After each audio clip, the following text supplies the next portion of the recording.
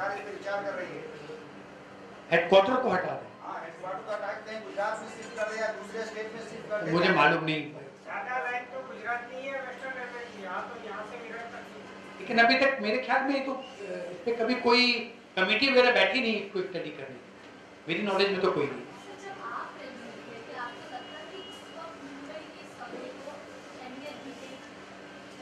देखिए एमयूटीपी के काम तो उस समय चल ही रहे थे? और नंबर ऑफ़ ट्रेन तो बढ़ाई गई सौ ट्रेन तो तब भी बढ़ाई गई प्रॉब्लम अब दूसरी आ रही है। जैसे डेडिकेटेड फ्रेट कॉरिडोर आएगा तो जो फ्रेट ट्रेन निकल जाएँगी, उसी समय अगर अगर इस पर एक्शन लिया जाए कि वसई से पनवेल तक लोकल ट्रेन चलने लगे उस रूट पे, भिवंडी होकर के तो वो बहुत अच्छा होगा उस रीजन के लिए। लेकिन ये एक्शन तभी हो पाएगा जब वो एक यूनिफाइड जोन होगा क्योंकि इसमें दो जोन इन्वॉल्व हैं और दोनों की अपनी अपनी प्रॉब्लम्स हैं। तो समय बदलता जाता हमारा अभी भी ये कहना है कि हम 2025 की प्लानिंग आपको बता रहे हैं। तो सर इसके अलावा और आसानी क्या होगी कि अगर एक यूनिफाइड अगर जनरेशन जी। तो होगा फोकस्ड अटेंशन अर्बन सर्विसेज़ पे। मेंटेनेंस जो होगा उसमें सिनर्जी आ जाएगी। अभी बहुत सारे शेड्स बने हुए हैं पाँच छह शेड्स हैं।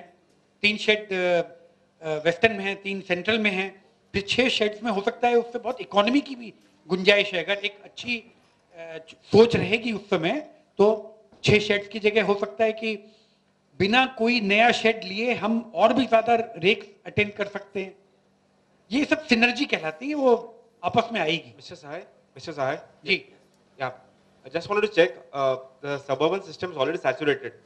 For the last two years, both central and western haven't added any single services and it has remained the same.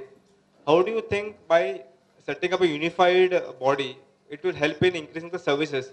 But on field, on ground, there is no scope for uh, adding more lines. Unless fifth and sixth line is stuck for the last uh, seven, six, seven years now on both central and western.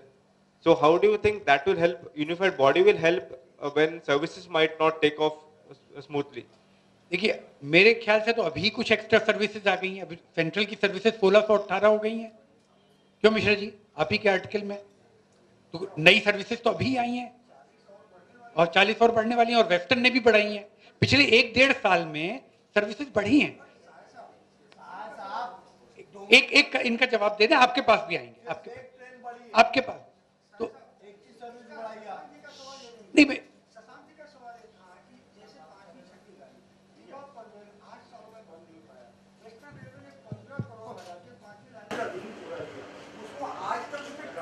नहीं चल बिल्कुल ठीक। तो हमारे ख्याल से unified में जब जीएम के पास ये पूरा काम रहेगा तो उसको फोकस्ड वे में वो अटेंड करेंगे इन चीज़ों को।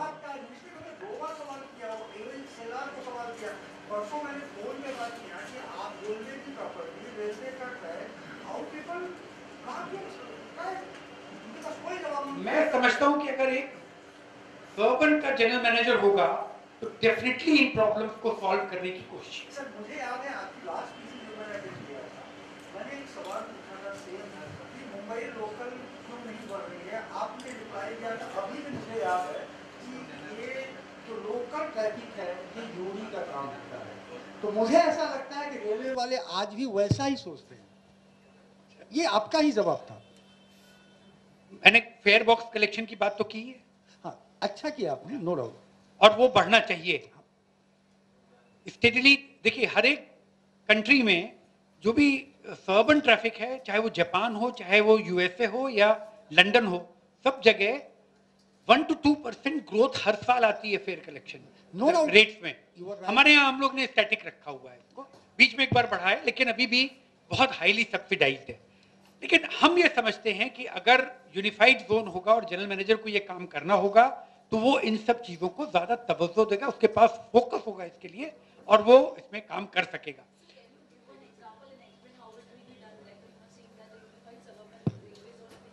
hmm. अभी मेरे तो कहना है कि वसई से पनवेल ट्रेन चलनी चाहिए। ये कौन चलाएगा? Vasai is on Western Railway Panvel is on Central Railway वहाँ पे अभी उसमें अगर कैपेसिटी इंप्रूव करनी है तो सेंट्रल रेलवे का अटेंशन उस पर होगा कि नहीं होगा? इसको करने में ही एक डिकेट निकल जाएगी। अगर करजत से पनवेल की नई लाइन है, अगर वहाँ पे ग्रोथ हो रही है, अगर वहाँ लोकल ट्रेन चलानी है तो आप, आपने देखा दहानू रोड तक लोकल ट्रेन ले जाने में कितनी मशक्कत हुई है? कम से कम पंद्रह साल लग गए उसको करने में। तो मेरे ख्याल से अगर एक लोकल यूनिफाइड सर्बन जोन होगा तो ये सब प्रॉब्लम्स को जल्दी निपटारा किया जाएगा, इन पर एक्शन लिया Sir? आप इसी से थोड़ा सा जुड़ा सवाल मेरा जो सवाल था उसका किसी से जवाब नहीं किया जैसे कि अगर आप मांग करते हैं रेलवे मिनिस्टर से मांग करते हैं ज़ाहिर सी बात है आपके पास कोई प्लान होगा कि सबके अंदर बदलाव होगा तो इस तरह से बदलाव होगा आपने ये रेलवे का एग्ज़ाम्पल दे दिया लेकिन सर और आपने मेंटेनेंस का इसके अलावा कोई कुछ स्पेसिफिक बातें हैं जिसमें बदलाव होने की ज़रूरत है और वो हो सकता है कि अगर ये यूनिफाइड जोन हो सर अ, इसी इसी से जुड़ा सवाल आप अ, युवा से या पनवेल से लेके बसेरी रोड तक की बात कर रहे हैं लेकिन अगर यूनिफाइड जोन हुआ भी तब भी मेल एक्सप्रेस की जो यातायात है वो यहाँ से बॉम्बे सेंट्रल और यहाँ सी एस से तो चलने ही वाली है हमारे पास एग्जिस्टिंग लाइन से वो तो उतनी रहने वाली है। पाँचवीं छठी लाइन का तो मैं सोच भी नहीं रहा हूँ हम्म। कि इन नियर फ्यूचर वो आएगी तो यूनिफाइड जोन होने के बावजूद भी except for that Panvel and Vasai और विरार वसई कॉरिडोर और क्या We have got harbor line going to Andheri. VT2 Andheri की आपकी हार्बर लाइन है। You have to improve lots of thing उसके लिए टाइम चाहिए। समय चाहिए जनरल मैनेजर के पास। वो अगर पूरा दिन उसके पास सर्बन के काम देखने के लिए रहेगा तो सॉल्यूशंस निकल के आएँगे.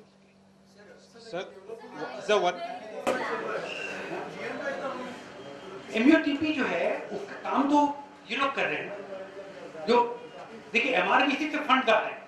लेकिन काम करने वाले तो जेल मैनेजर के लोग हैं ना जनरल मैनेजर के अंदर जो इंजीनियर थे वो सब काम कर रहे हैं तो जी। यूनिफाइड आपने बोला सही बात, ठीक है। बट एग्जिस्टिंग इसमें सेंट्रल और वेस्टर्न दोनों में डिविजन है मुंबई डिवीज़न है। हाँ। Both play a role of ensuring कि suburban सिस्टम चले। जी। the existing uh, existing division are underperforming because of which there is a need for under performance की बात नहीं हो रही। यहाँ सिनर्जी की बात। मिल करके काम करते हैं दोनों के बीच में तो सिनर्जी की कमी रहती है।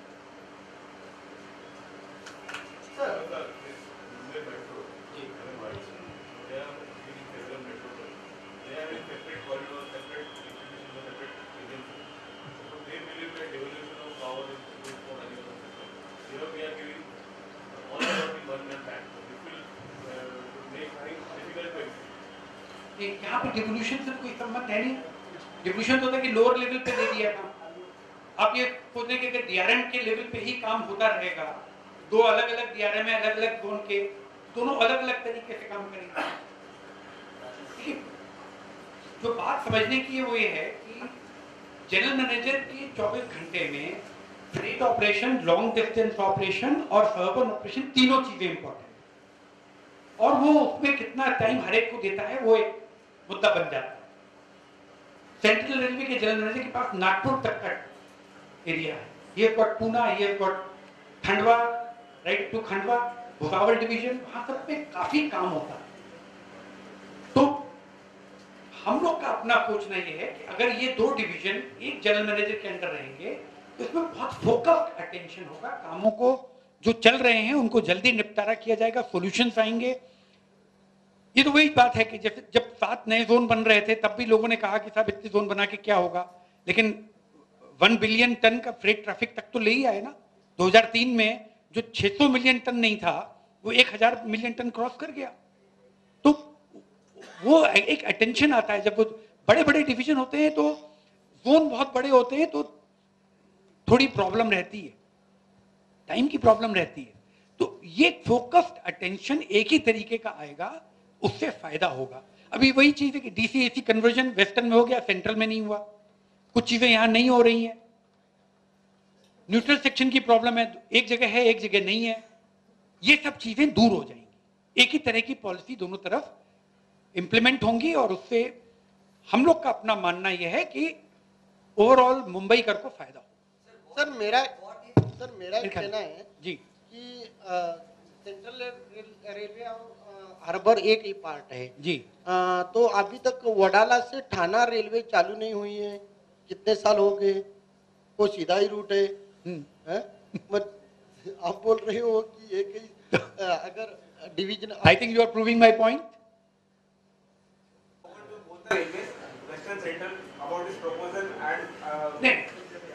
हमने उनसे इसके बारे में भी किया सर अगर जो मुंबई डिवीज़न है मुंबई डिवीज़न है उनके पास पावर बढ़ाई जाए instead of unifying of power तो डीआरएम के पास पड़ेगी। लेकिन एक चीफ इंजीनियर और chief operation manager chief electrical engineer की पावर और होती है ना कुछ उनको जीएम ही कंट्रोल कर सकता है। हाँ जी हाँ, मेरा एक चीज़ पूछना है कि आप बोल रहे कि अलग जोन का खड़ा करने से आपकी जो सर्विसेज़ होगी वो नॉर्मल होगी मेरा एक ही सजेशन था या सवाल था कि क्यों नहीं आप इतना मेहनत कर रहे उससे अच्छा आप जो आउट स्टेशन की गाड़ियाँ हैं, उनको इलेवेटेड रूट से कोई अलग रूट कर, करिए। ये जो आप अलग जनरल मैनेजर थोड़ी गाड़ी दौड़ाए। रूट आप बढ़ाने की बात करिए। ठीक ठीक। फिफ्थ सिक्स लाइन पूरी बननी चाहिए। कंप्लीट करना चाहिए और पहला होगा सेग्रीगेशन होना चाहिए। और बहुत टाइम ले रहा है। इसमें कोई शक नहीं टाइम लग रहा वेस्टर्न रेलवे की जो जितनी भी जगह है वहाँ पर आज अतिक्रमण बड़े पैमाने पर रेलवे के अंदर हो रहा है। बांद्रा टर्मिनल के यहाँ पर आप जाके देखो कितना टर्मिनल में सब ये हो। गए है तो कैसी गाड़ियाँ जाएँगे वहाँ से? जीएम कभी आते क्या वहाँ पर देखने? हो सकता है नए जीएम आए। Who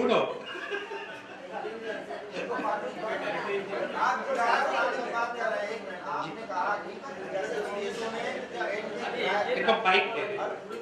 बाइक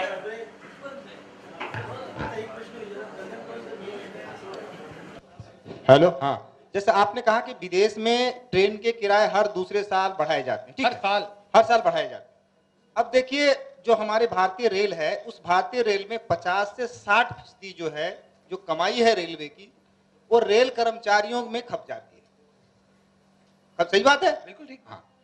अब वहाँ पर अगर विदेशों के देखे जाए तो वहाँ पर 30 परसेंट या 25 परसेंट वहाँ खपत होती है। कितना? 25 और 30 परसेंट। और हमारे यहाँ कितना? 60 परसेंट। यानी जो 30 परसेंट बेकार अधिकारी जो हमारे रेलवे में सेवा दे रहे हैं जो कहते हैं घर पे बैठ के मेरी सैलरी पहुंचाओ और काम नहीं करना है तो उसके लिए आप क्या सुझाव देना चाहते हैं और क्या करना चाहिए? मैं आपका ध्यान एक ही बात पे आकर्षित करना चाहूँगा कि आप जिन भी रेलवे सिस्टम की बात कर रहे हैं, मोस्टली सब लॉस मेकिंग है। और Indian railway is still not loss making Indian railway में अभी भी प्रॉफिट है। मैं मानता हूँ कि तेरह लाख एम्प्लॉय हैं, बहुत ज़्यादा है, लेकिन हम जितने पैसेंजर सर्विसेज़ दे रहे हैं, करीब बारह हज़ार पैसेंजर ट्रेन रोज चलती हैं। जिस तरह का सर्बन सिस्टम हमने दिया हुआ है, ये विदेशों में इस तरह से कहीं नहीं चलाया जाता। और उसमें काफ़ी खर्चा आता है। यूरोप की हर रेलवे सिस्टम, मेरे ख्याल में एक जर्मनी को छोड़ के सब जगह लॉस होता है। ब्रिटिश रेल तो प्राइवेटाइज हो गई अब उसे कंपेयर नहीं कर सकते। और यूएसए में पैसेंजर सर्विसेज़ गवर्नमेंट चलाती है, लॉस करती है, और फ्रेट सर्विसेज़ प्राइवेट कंपनी चलाती है, उनके शेयर बहुत अच्छे बिकते हैं स्टॉक मार्केट में। वहाँ सिस्टम बिल्कुल फ्री मार्केट जैसा है। आप अगर पूरी तरीके से इसका मनन चिंतन करेंगे तो आप देखेंगे कि इंडियन रेलवे की परफॉर्मेंस पिछले 30 साल से बहुत अच्छी रही है, बहुत प्रॉफिट आया है और सिक्स पे कमीशन के बाद प्रॉब्लम हुई क्योंकि हम लोग ने फेयर नहीं बढ़ाए। पैसेंजर फेयर बढ़ने चाहिए थे, नहीं बढ़े। कभी शायद इस पर अच्छा काम होगा बोर्ड में कुछ हिम्मत आएगी, करेंगे वो लोग। बट पैसेंजर फेयर बढ़ने चाहिए और फ्रेट रेट थोड़े घटाने चाहिए, जिससे कि रोड जो है वो रेल से महँगी हो जाए। वो एक ज़रूरत है, देखिए कब होता है। लेकिन अगर ये कहना कि लोग खाली बैठे बेकार बैठे हैं और रेलवे कुछ काम नहीं कर रही तो वो मेरे ख्याल में एक गलत परसेप्शन है। रेलवे में अभी भी प्रॉफिट मेकिंग काम हो रहा है। हमारी अर्निंग जो है, वो एक्सपेंडिचर से ज़्यादा है। जो हम लोग, हम डिविडेंड पे करते हैं। पिछले 20 साल में हमने हमेशा सेंट्रल गवर्नमेंट को नेशनल एक्सचेकर में डिविडेंड पे किया है और वो पाँच छः हज़ार करोड़ होता है। वो अपने प्रॉफिट से ही दिया है। तो ऐसा कहना मेरे ख्याल में गलत परसेप्शन नहीं सुनिए सुनिए मेरी बात जब आप कह रहे हैं कि मुझे फ़ायदा जब आप कह रहे हैं कि मुझे फ़ायदा हो रहा है इस बिज़नेस में ठीक है? तो जब मुझे फ़ायदा हो रहा है तो जो यात्री है फिर उनके ऊपर अतिरिक्त बोझ क्यों बढ़ाया जाए? ये बताइए मुझे। कह रहे हैं कि रेलवे को फ़ायदा हो रहा है ठीक है? अब मेरे को घाटा हो रहा है। पैसेंजर सर्विसेज़ में घाटा हो रहा है। रेट में घाटा नहीं हो रहा है। ओवरऑल तो रेलवे को फ़ायदा है। Railway is in profit last year क्योंकि पैसेंजर में लॉस होता है जो कमल मिश्रा जी ने कहा ना कि पैसेंजर सर्विसेज़ में घाटा होता है और ये सब्सिडाइज तो आपकी जो रेलवे की ईयर बुक निकलती है रेलवे जो निकालती है हर साल उसमें आप देखिए मेरे ख्याल में पिछले साल की फिगर छब्बीस हज़ार करोड़ है या तीस हज़ार? करोड़ के आसपास है छब्बीस और तीस के बीच में कोई फिगर है। इतनी सब्सिडी पैसेंजर सर्विसेज़ को इंडियन रेलवे हर साल दे रही है। और ये घटानी चाहिए। ये माल भाड़े में जो प्रॉफिट हो रहे हैं वो क्रॉस सब्सिडी दे रहे पैसेंजर Passenger। क्रॉस सब्सिडी हो रही जी हाँ बिल्कुल प्रॉफिट बरोबर है। तीस हज़ार करोड़ के आसपास बता रहे करेक्ट तीस हज़ार। करोड़ के आसपास सब्सिडी मिल रही है। लेकिन उसमें तो आप बता रहे प्रॉफिट हो रहे हैं। लालू प्रसाद ने जब बजट बढ़ाया तो नब्बे हज़ार सरप्लस बताया मैं आपको बता वो आपको मैं क्लियर कर दूँ क्योंकि मैं उस समय मैंने भी चार बजे तो मैंने भी बनाए। लालू जी के समय में सिक्स पे कमीशन नहीं आया था। और पेंशन फंड 2008 में 4,500 करोड़ का था। आप इस साल का अपनी फिगर निकाल लीजिए pension fund will be about 28,000 crore. Pension fund का पैसा रेलवे अपने प्रॉफिट में से ही देती है। अगर आज वही 4,200 500 करोड़ कर दीजिए तो वो 24,000 करोड़ रेलवे के पास रहेंगे। Six pay commission has been a back breaking thing for the railway ये मैंने कई बार बोला मैंने टीवी पे भी बोला। क्योंकि वो बहुत ज़्यादा पैसा आ गया। अब सेवन पे कमीशन का इफ़ेक्ट देखते हैं क्या होता है।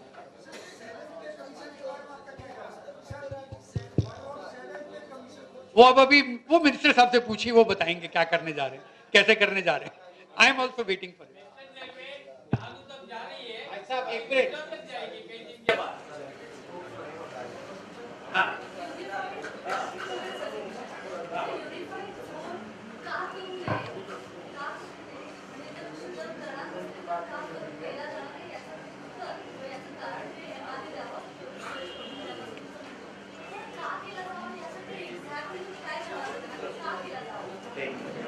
केलं जावा हे सांगण्यासाठीच हे सांगण्यासाठीच आम्ही हे रिपोर्ट बनवलेला आहे. हे रिपोर्ट तुम्ही वाचा.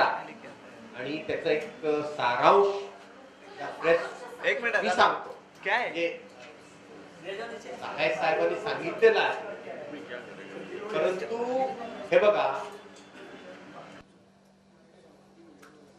जेव्हा दोन्ही झोन्स त्याच प्रकारचे सबर्बन सर्व्हिसेस आज देत आहेत.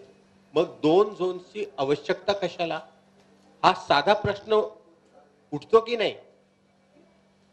वेस्टर्न रेल्वे आणि सेंट्रल रेल्वे यांचा सबर्बन सर्व्हिसेस काय फरक आहे का?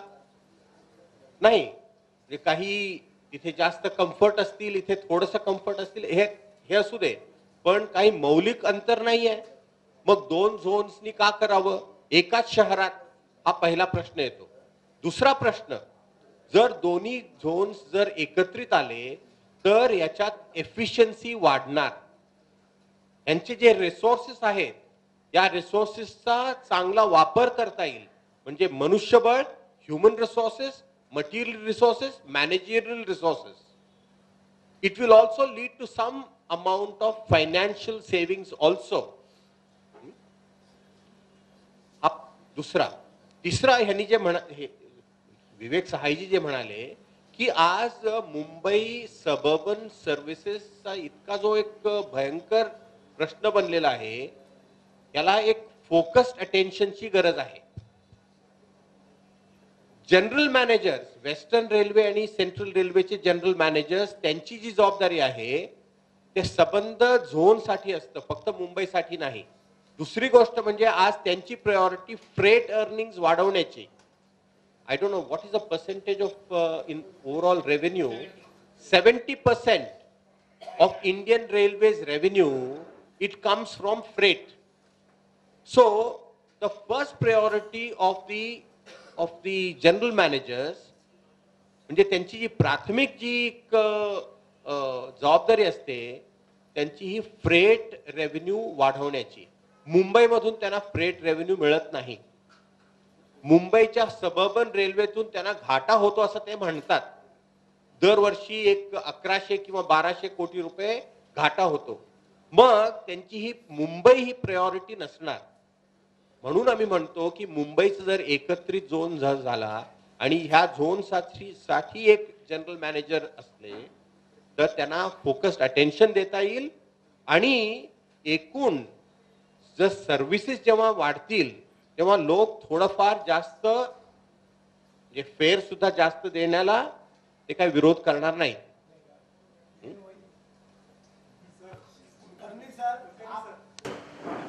जनरल मैनेजर जोन की बात कर. Why not you are talking about to improve service number of मेरा क्या सवाल है? बार बार यही है कि आप सर्विस बढ़ाने के उपाय बताइए ना। एटीएम ला के नहीं आप वो नया गाड़ी चला देगा सर हमारा प्रश्न की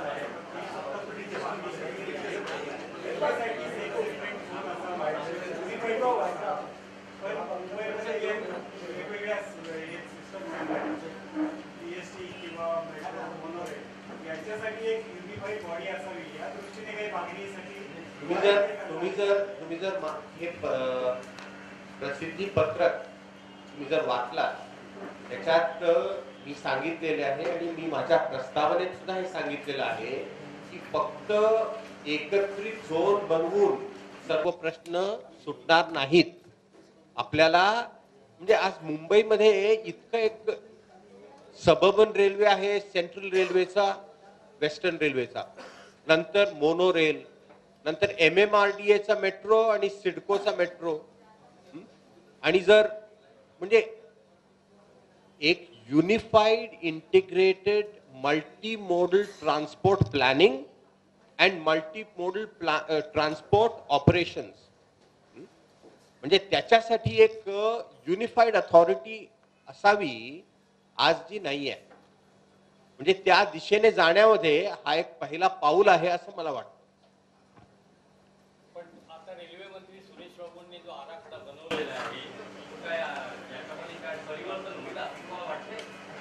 त्याचसाठी आम्ही मागणी ठेवलेली आहे आणि सुरेश प्रभूजी ते मुंबईचे आहेत दिल्लीला गेलेले आहेत. तरी सुद्धा त्यांनी ह्याच्यावर लक्ष द्यावं आणि पुढच्या रेल्वे बजेटमध्ये हे त्यांनी आवर्जून घ्यावं असं आमची इच्छा आहे आणि मागणी आहे धन्यवाद